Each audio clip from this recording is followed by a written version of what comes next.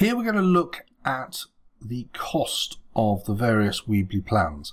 Now you can have a Weebly plan for free and that just means that you don't have a domain.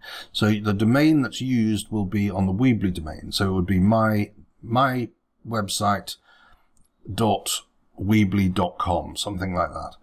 Now, giving that domain out to people is not, it's fine, perhaps if you've got a link for a wedding or for a birthday or something like that, where you want a free website, uh, basic website, information website, and uh, you don't need a domain as such. But if you are maybe a club, you might decide you want, you know, um, my village sports club or whatever, and you may want a domain, in which case you're going to have to go for the Connect plan.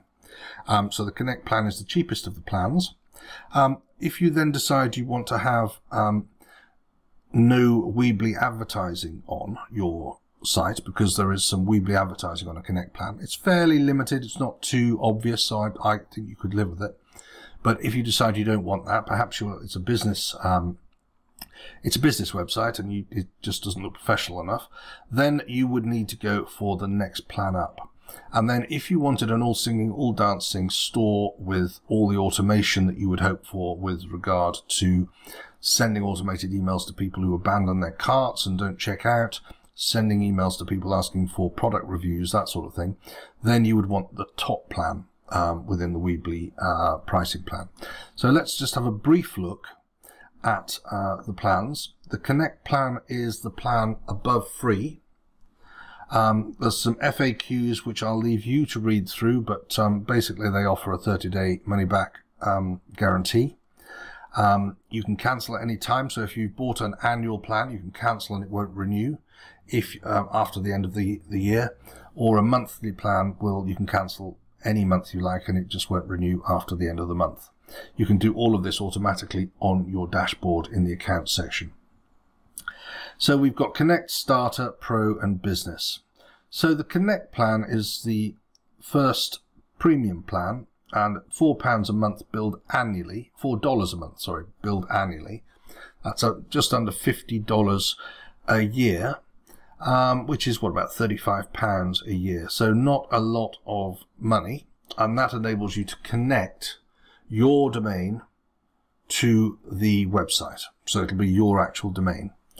Um, if you do that, then um, um, you'll still have the advertising on there, the Weebly advertising. For no Weebly ads, go to the starter, which is $8 a month and gives you other options.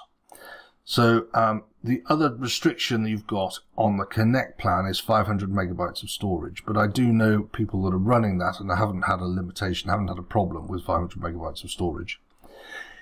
You also get a free domain on the Connect plan or any of the others, which could be worth up to say $20 or something like that. So um, that's worth thinking about.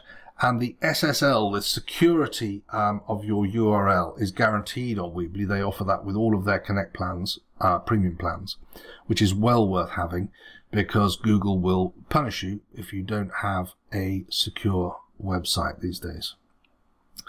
Um, Connecting domain, uh, as I say, is with all of these plans. You can connect the domain and you get one for free in the first year and then removing the ads. So as soon as you go to the starter plan at $8 a month annually, you will uh, re remove all Weebly ads and you get your um, footer with no Weebly ads on it as well.